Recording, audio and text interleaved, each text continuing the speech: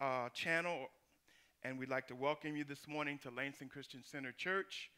I'm Associate Minister Andrew Ellison, and our physical location is at 5640 South Waverly Road in Lansing, Michigan.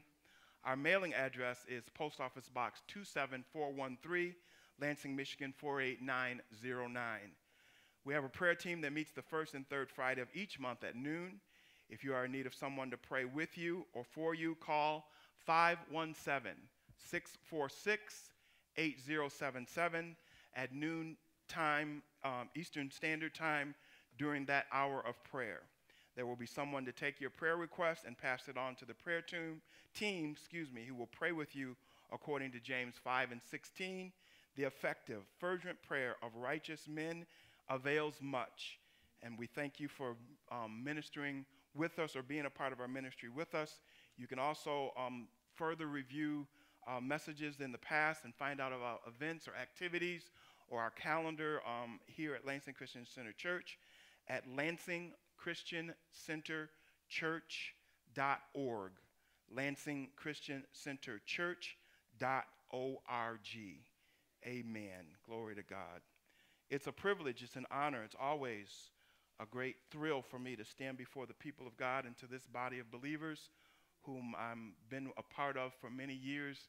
Uh, not quite as long as Sister Maddie, but um, bumping, bumping up on 40 myself, praise God. So I thank God for that uh, privilege of being under this ministry. Sometimes people ask me or ask Tori and I when they find they people ask, um, where, where do you go to church? And I say, I go to Lansing Christian Center Church. And I say, they say, where is that? And I say, it's in Lansing. And praise God. Um, they, where do you live down there? I says, no, I live in Elma um, which is about 50 miles away, and you go to church in Lansing? Yes, I do. Amen. Amen. And I don't travel the farthest. I think Brandon travels a little bit farther than I do. Amen. But when God has placed you somewhere, when God has planted something in you and planted you somewhere, you need to obey Him and stay where He plants you until He moves you somewhere else. Amen. Amen. Um, there's too many church members that are on roller skates. Amen. Yep, I said it. I'm not going to take it back. You just roll over here and you sit for a minute and then you roll over here and you sit for a minute. You don't never get planted and nothing gets planted in you. Amen. Nothing get, takes root in you. Praise God. So we need to we need to be diligent in the things of God and be obedient to him. Amen. I would like you to open your Bibles, please, with me to Psalm, the 37th number of the Psalm, Psalm 37. Amen. A few uh, mornings ago, um, don't remember exactly which day, but a few mornings ago, I just woke up with um, the first couple words of this particular psalm um, fret not, fret not. And that's where we're going to begin that may or may not be the title. I might get a title by the time we get done, but praise God. We're gonna we're gonna start there nevertheless. And I knew where that psalm, where that phrase was. I knew where it was in Scripture. So when I got up and got around, I went and grabbed uh, my Bible and um, began to look at this passage of Scripture. Now, when I went to grab a Bible, I grabbed this Bible that I have with me this morning, which is one of my older study Bibles that I've had for some time. And this particular Bible um, was damaged, water damaged, during the fire that we had a few years ago. And Tori will attest to you that one of the things that I told the recovery people is I want this Bible. If you don't save nothing else that you uh, recover out of this house, I want this Bible. And so they took it and they restored it as best they could. It's a little bit wrinkled, but it was it was it was soggy. It was just and I said, man, but they, they saved it, praise God. And so when I went to grab the Bible, I, for after um, being impressed with the, the, the, phrase or the words fret not, I went to this Bible. And when I re- went in this Bible, and you can't see it really, really well, but the 37th Psalm is right in here. And there's some things that are highlighted in here. And I realized that when I had um, studied that or read this passage before in this Bible, there were some things that stood out to me. And so as I looked at them, I says, man, you know, there's something here. And then the Spirit of the Lord said to me, pay attention. He said, pay attention. So I went back and I went back through here and I, I some things that he had previously I didn't have any notes on it that I was aware of. So he kind of refreshed me or renewed me or retaught me or re um, gave me additional revelation in these things that he had at one time pointed out to me. And so um, one of the things that's written in the margin here in my Bible, right next to fret not, is this phrase, don't get heated up. and so I went back and I looked up the word fret, and sure enough, to fret here in the Hebrew that it's written, it means to heat up. It means to heat up. And so the Spirit of the Lord had said to me, Don't get heated up.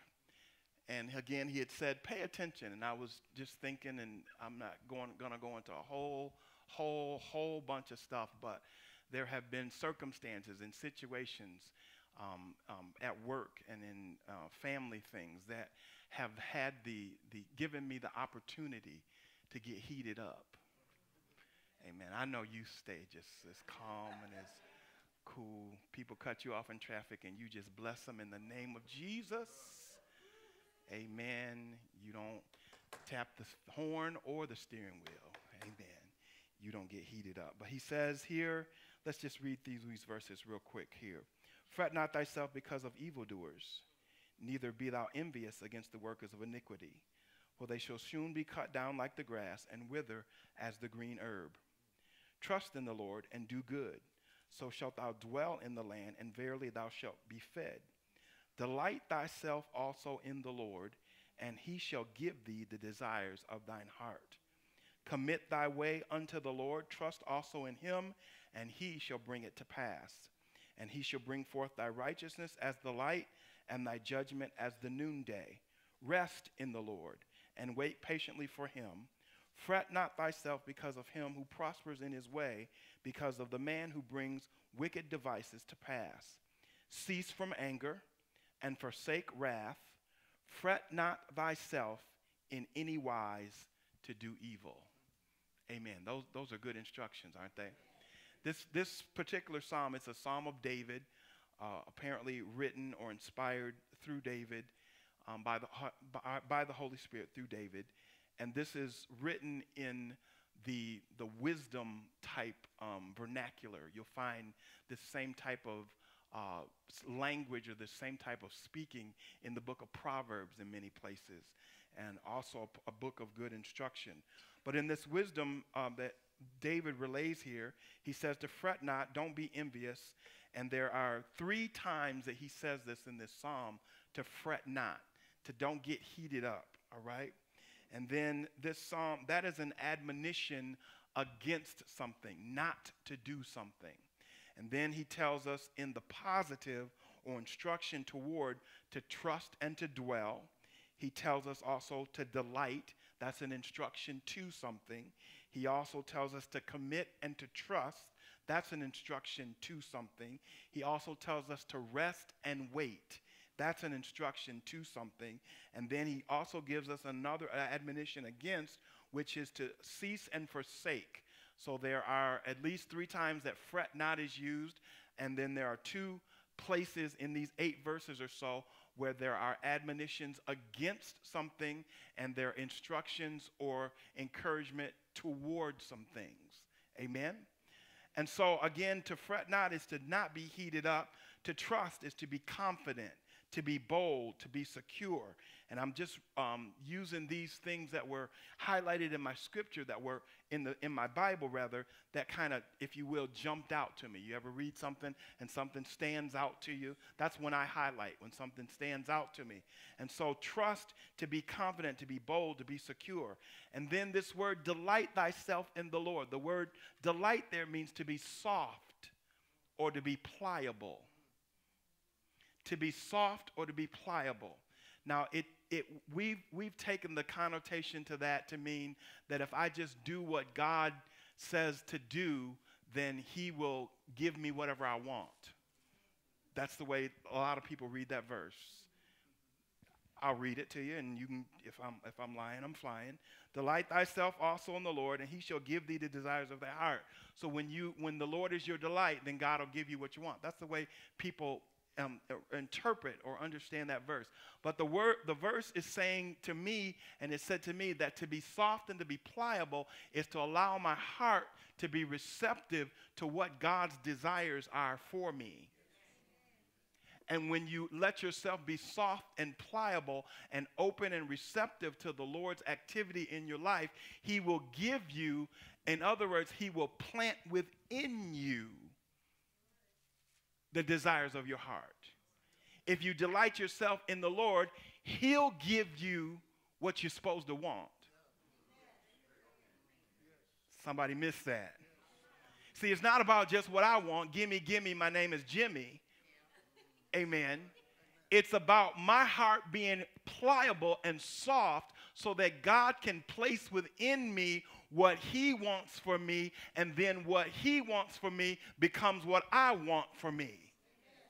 Huh? Isn't that a good place to be in?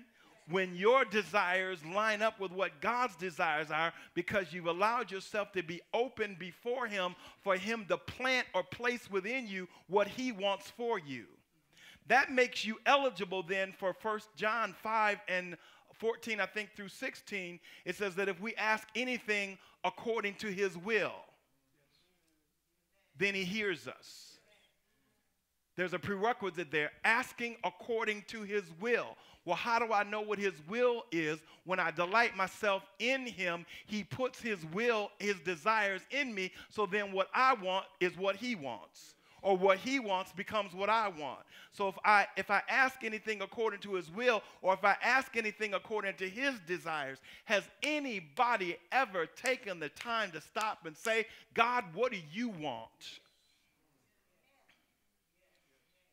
I know I'd like a big house. I know I'd like a new car. I know I'd like a new suit. I know I'd like some new shoes. God, what do you want? Lord, I know I'd like this person or that person to get some act right. What do you want? Come on, somebody. You ain't never, don't, don't, don't sit here and look at me blinking your eyes like, no, I don't know what you talk about. You know you have prayed for God to get some people, to make some people act right. You know you pray to ask God, Lord, get them straight because they are so messed up, they really messing with me. But Lord, what is your desire concerning this person? What is your desire, your will, your will in their lives, your kingdom come, your will be done in their lives? That's my delight and that's my desire. Not strike them down, not send the tornado to their house, not let their ride break down, so they'll be walking, so they understand what it was like.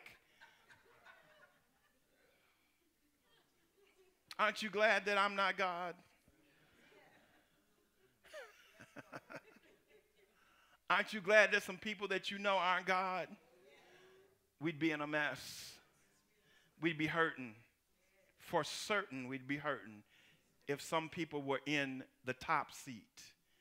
Amen. But we want to be delighted in the Lord, soft and pliable. And then the other one of the other words that he he that stood out to me was this word commit. Commit your way unto the Lord and trust also in him. This word commit here means to roll. It means to roll over onto.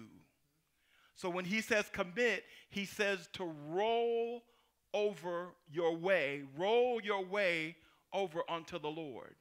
See, the, the, in these verses, he's telling us to align ourselves with God's desires for us, to understand what those desires are, and allow, our, allow God to plant his desires in us. I heard um, um, um, Bishop Butler give his testimony um, one, at least one time, but I heard him give his testimony about the founding of the Word of Faith ministry, which is uh, nationwide and has many congregations planted all over. And he comes from a lineage of the background of um, a preacher's kid. His father was a pastor. And so, as he knew he was called into the ministry and that he was going to pastor, his initial praying was that he wanted to at least have a church membership that exceeded what his father was able to do in his ministry, which was around 500. Okay. And so by that, he never had a vision for what Word of Faith has ultimately become. but he would come home, and him and his sister Deborah lived in a small one room apartment, and they had a dining room table. And he would go, that was his prayer place. And he would go and get under that dining room table and he would pray. And he was praying about what God was birthing in him, which is now word of faith. And he said he would pray and he would pray and he would pray. And this is the way he said it, and I love this. He said, I stayed under that table praying until Jesus got under that table with me. Amen. He stayed before the Lord not necessarily trying to get anything out of God, but until the vision and the plan that God, the desires that God had for him were implanted in his heart. Amen. Until God gives you what to say. We've heard our own pastor give the testimony so many times about the, uh, the events and the activities that happened some years ago when they were on the cruise. He was minding his own business, so to speak, but fellowshipping with the Lord. And the Lord put in him what to say and what to pray. He didn't think it up on his own. God put in him. He was delighting himself in the Lord, fellowshipping in the Lord, and the Lord gave him. The Lord gave him the desire of his heart, gave him what to say, what to pray, to um, send the angel before you and make your way possible for you to get home. That came from heaven. That came from a desire given and put it in his heart by the Holy Ghost. So when the scripture here says to roll, he says to roll your way. Turn over to um, um, Psalm, Psalm 16, Proverbs 16. I'm sorry, Proverbs 16. Now, again, I said just a second ago that these, this particular psalm is kind of written in this, um, in this uh, wisdom teaching type of way that many of the proverbs are written in. And in Proverbs chapter 16, it says, The preparations of the heart in a man and the answer of the tongue is from the Lord. All the ways of man are clean in his own eyes, but the Lord weighs the spirits. Verse 3 Commit thy works unto the Lord, and thy thoughts shall be established. That word, that verse in another translation says, Roll your works over unto the Lord, and he will cause your thoughts to be established and your plans to succeed. When you roll it over to the Lord, when you commit it to Him, He causes your thoughts to be established, and then your plans will succeed because He's caused your thoughts to be established because you put it before Him for Him to give you the desires of your heart. Am I helping anybody this morning? Amen. And so then the last one, and then also we, we find in, also in, uh, in the New Testament, the New Testament parallel for that verse there, and these verses here is in 1 Peter 5. Humble yourself um, under the mighty hand of God that he might exalt you in due season. And he says to cast all your cares, roll the weight of your cares. In, in, in the New Testament, he says cast, cast them on the Lord. Get them off of you and get them to Him. Amen. I heard somebody else um, talking or preaching earlier this week, and they said that one of the reasons why Christians are not more successful in prayer or as successful in prayer as they should be because they're always praying the problem instead of praying the answer. See, when you delight yourself in the Lord, He'll give you the answers that you need. And then instead of pray, praying the problem, you'll be praying the answer. And when you pray the answer, you know that He's heard you and you know that you have the petition that you desired of Him because He gave you what to pray in the first place. You can waste a whole lot of time in prayer waste a lot of time in prayer just um, speaking out into the air and just, it, I don't, I, if I hurt your feelings, YouTube, forgive me. But you can quit speaking to the atmosphere, baby. The atmosphere didn't save me. The atmosphere doesn't fill me. The atmosphere doesn't nurture me and nourish me. It is Jehovah God, Jesus, the Lord God Almighty, who is I'm talking to who I'm speaking to, my Father who is in heaven. See, I'm a part of the family. I'm a part of the family. And my Father owns the whole shebang.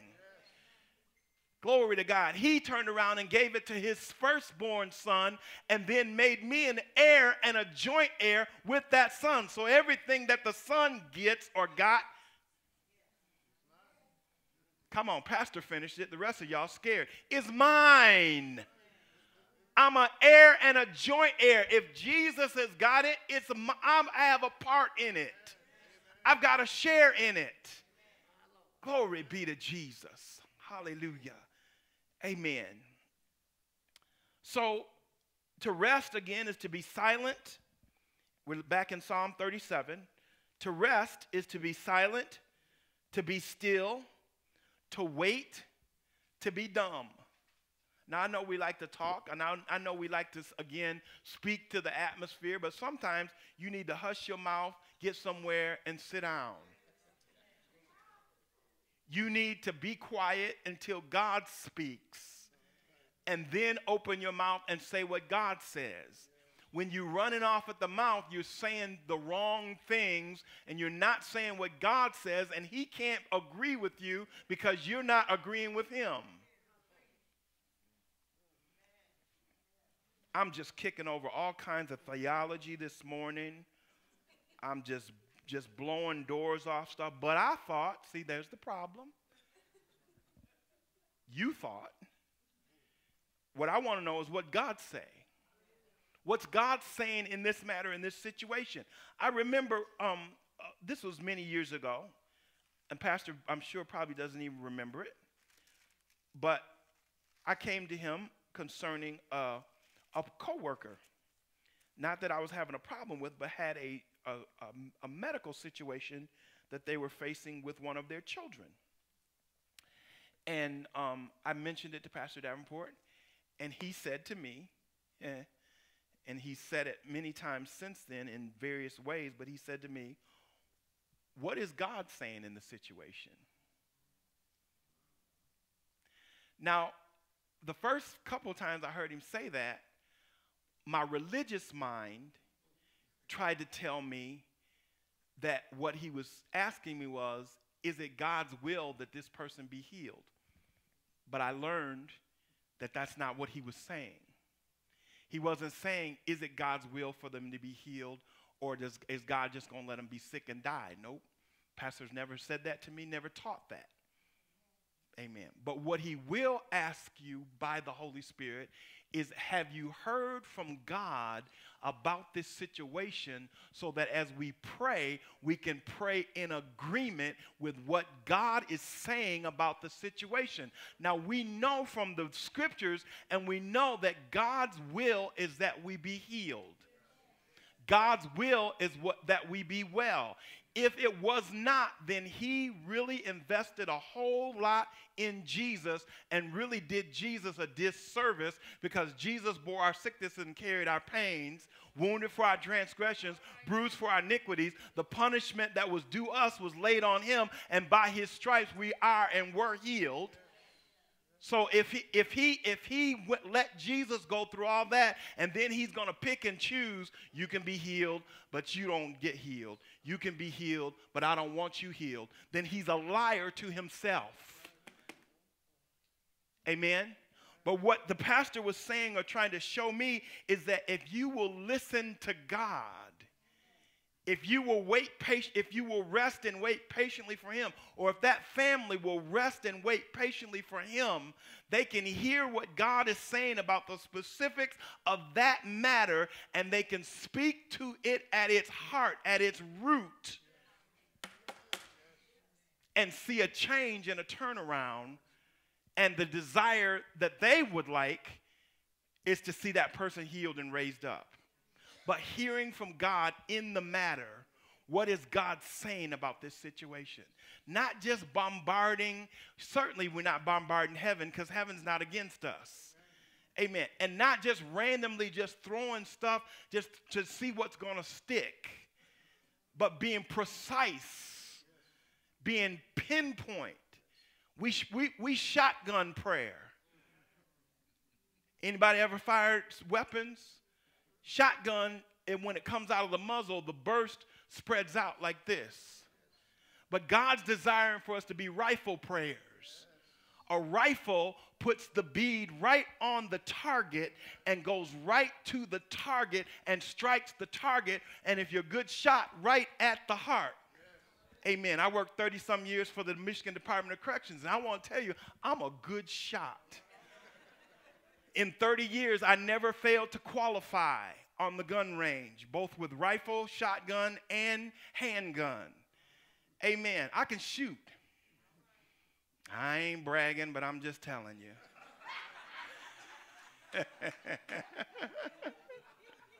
Amen. Amen. We used to we used to tell we used to tell them guys they they get to bumping their gums and running their mouth, and they say, I tell only criminals ain't the only people that carry guns.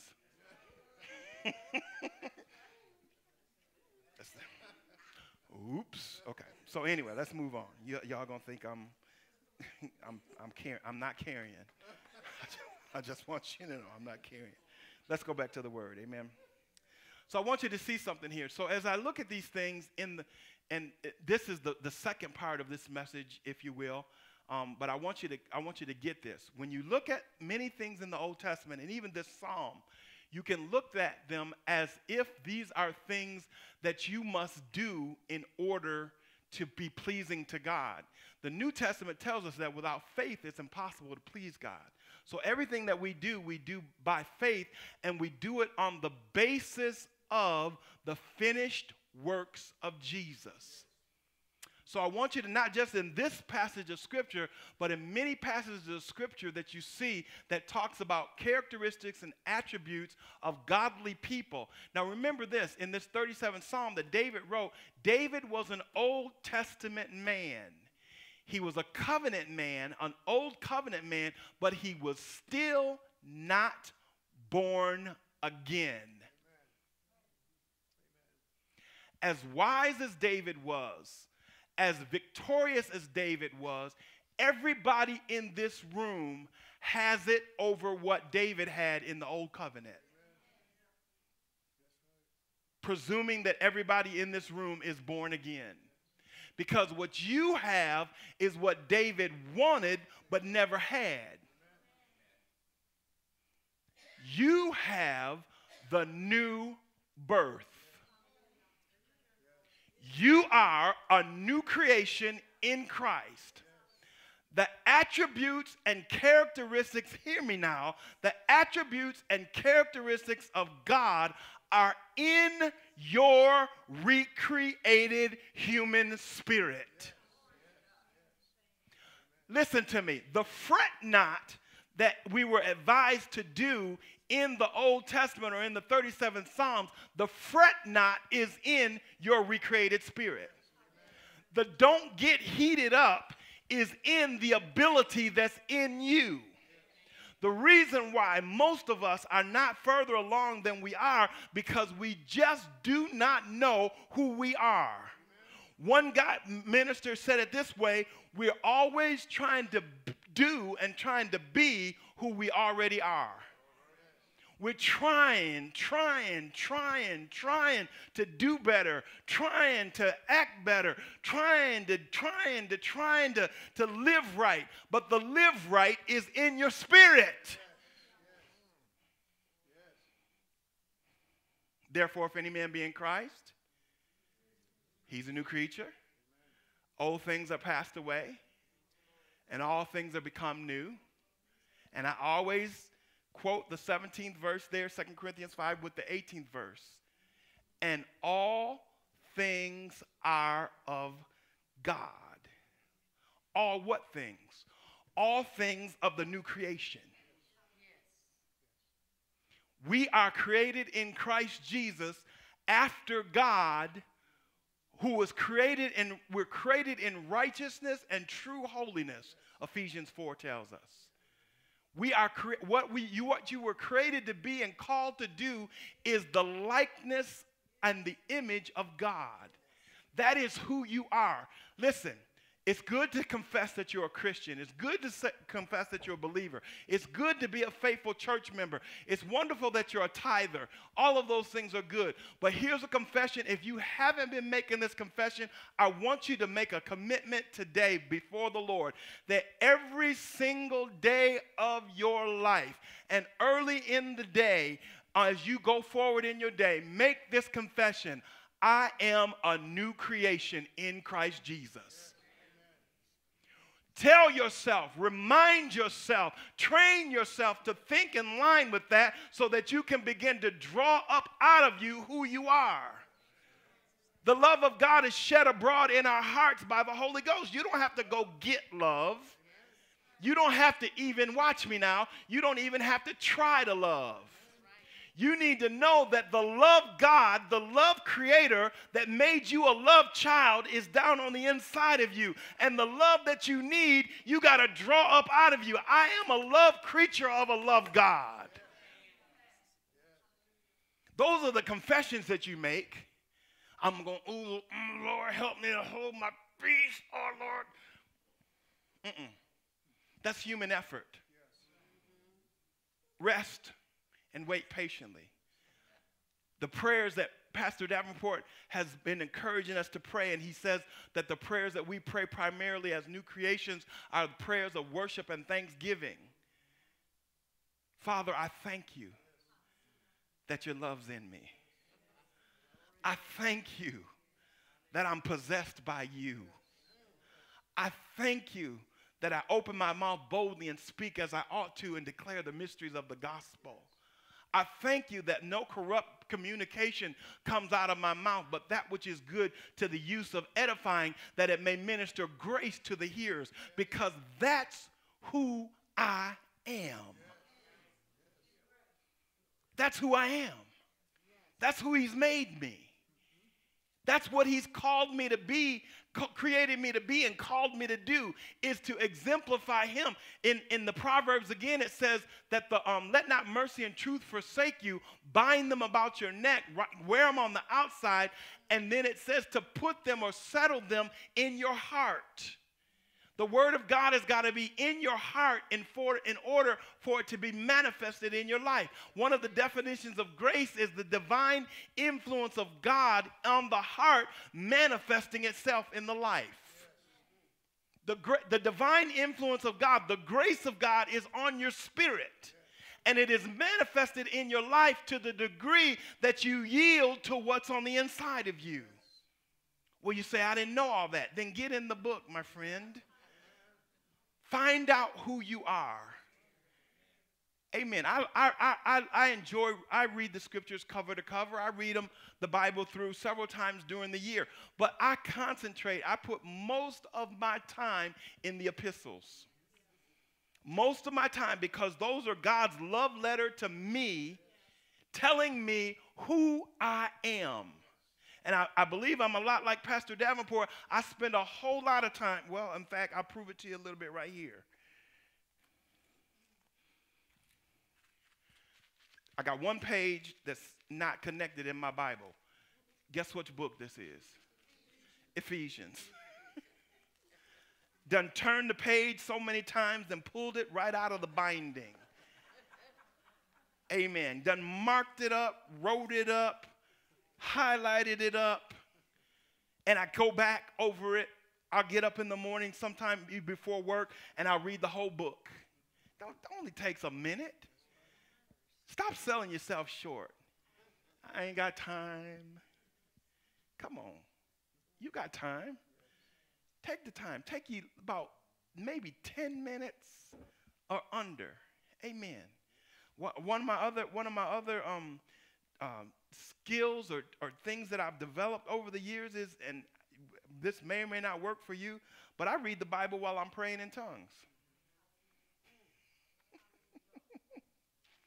Amen. Your mind can do that. You say, well, you won't get anything that you're getting. Well, your mind's not praying in tongues, your spirit is. so you edifying your mind and building your spirit at the same time. So when you pray in unknown tongues, your, your, your, your mind doesn't get edified. Nope, but reading the scriptures edifies my mind.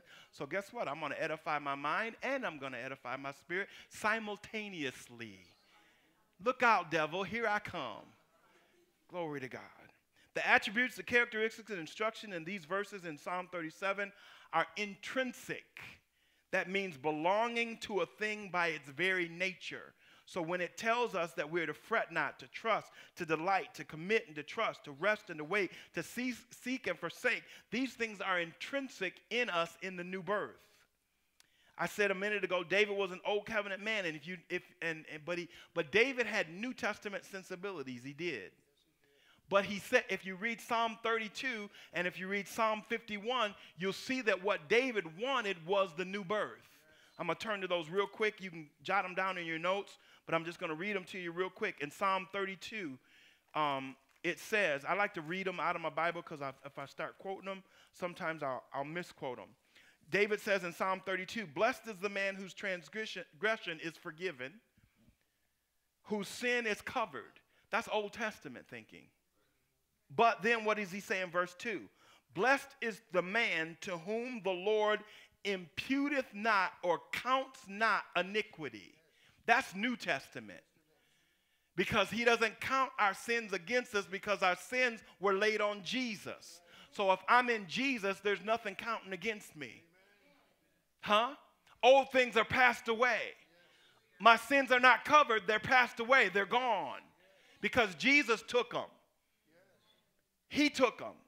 Blessed is the man who imputes not iniquity, in whose spirit there is no guile, no deceit. David wanted the new birth. Psalm 51. Psalm 51.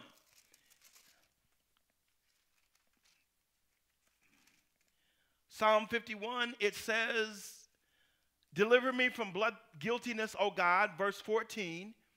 Thou God of my salvation, and my tongue shall sing aloud of thy righteousness. Well, let me go back. Go back, excuse me. Verse number nine.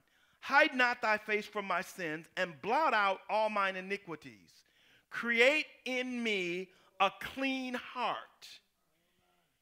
O God, and what? Renew a right spirit. Huh? Within me.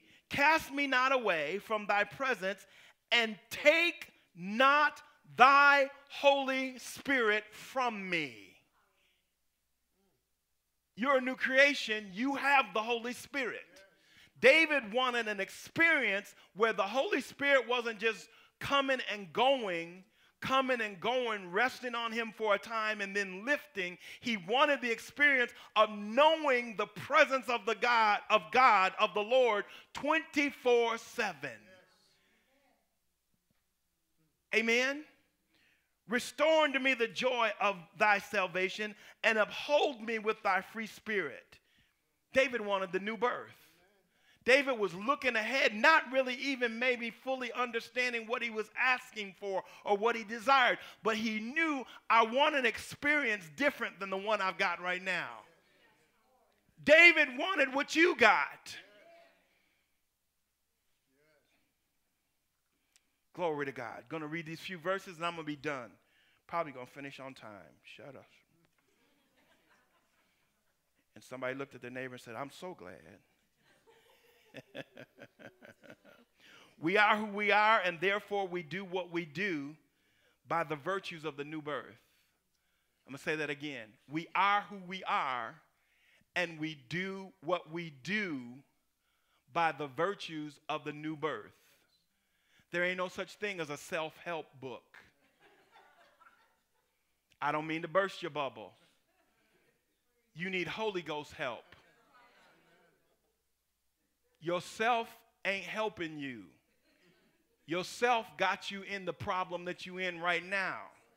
Yourself got you to where you are. You need Holy Ghost help. You need something that was outside of you, but is now from within you, but is of a source that you did not create or that you did not make of your own. I'm going to read these verses. I already, I already read 2 Corinthians 5 17, 18. Ephesians 3 and 20. Listen to this. This is in the Amplified. Now to him who by in consequence of the action of his power that is at work within us is able to carry out his purpose and do so super abundantly far and above all that we dare ask or think infinitely beyond our highest prayers desires thoughts hopes or dreams but the beginning of that verse says it is the power that is at work within us now unto him who is able to exceeding do exceeding abundantly above all that we ask or think according to the power that's at work within us. Look at somebody and say, The power is working in you if you're a new creation. Philippians 2:13 in the Amplify says, "Not in your own strength, for it is God who is all the while effectively at work in you." energizing and creating in you the power and the desire both to will and to work for his good pleasure and satisfaction and delight. It is God all the while who's working in you, energizing and creating in you both the power and the desire. The power and the desire come from the work of the Holy Spirit in you. You want to get some act right, the act right's on the inside of you. Hallelujah. Ephesians 4:21. If indeed you have heard him and have been taught by him as the truth is in Jesus, that you put off concerning your former conduct the old man which grows corrupt according to deceitful lust, and be renewed in the spirit of your mind. How is this activated? It's activated by mind renewal. How is the mind renewed? By taking heed to the word. By, by uh, putting, setting your thoughts, your affections, your desires on the things above, the things above, the things of the word. And that you put on the new man, which is created according to God in righteousness and true holiness. Everything about your recreated spirit you have the DNA of God in your spirit. DNA uh, scientifically is are the building blocks for everything. Everything is made up of DNA. Your DNA is righteousness and true holiness. That's why John was able to say, He that is righteous does righteousness even as he is righteous. He that's righteous, that's you, does righteousness, acts of righteousness, works of righteousness, even as he or because he's righteous. You are only able to do righteous acts or do righteousness or be righteous because of the righteous one who lives on the inside of you. Hallelujah. So don't get heated up unless you're going to heat up like this. Thank you. Thank you, Sister White. There's the title. I wrote it, it's in my notes. You can't read it. It says, Stay cool. Sister White just said, Be cool. So we're going to take that for the message topic. Stay cool. But the, listen to me as I go to my seat, as I finish up today, the stay cool's in your spirit. Now, oh, oh stay cool's in my spirit. Hallelujah. Hallelujah. This morning, as I was, we were getting up around 6:30. Amen. Um, as I was waking up, and I, I, I don't know how it was down here, but there was a wind, wind, man, and I heard it, and the and the the siding on the house was popping. You know, it was hitting on the siding on the house, and I said, "Man, is this another Pentecost or something going on on here?" And I said, "Man, if it sounds like this here, what must they have heard?" a sound as of a mighty rushing wind. And then that sound and that wind filled all the house. Woo, we got some experiences to experience in God, folks. We haven't even seen the beginning of it. Glory to God. From glory to glory to glory to glory to glory to glory to glory to glory to glory to glory to glory to glory to glory to glory to glory to glory to glory to glory to glory. How can you be a Christian and be bored? My God, hallelujah. How can you be new, a, new creation and have nothing to do?